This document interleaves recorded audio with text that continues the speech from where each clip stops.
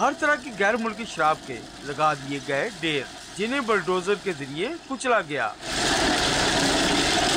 Cigarette اور دیگر غیر قانونی اشیاء کو بھی آگ لگا دی گئی۔ واگا بارڈر پر یہ سب ہوا کسٹم کے عالمی دن کے موقع پر۔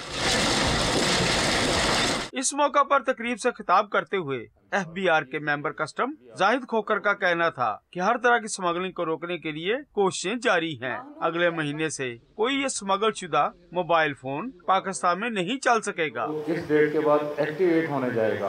اس کے لیے وہ چیک کیا جائے گا کہ یہ ہمارے سسٹم کے ساتھ آن لائن ہوں گے، سسٹم کے ساتھ اس کا آئی ایم ای نمبر ڈالیں گے۔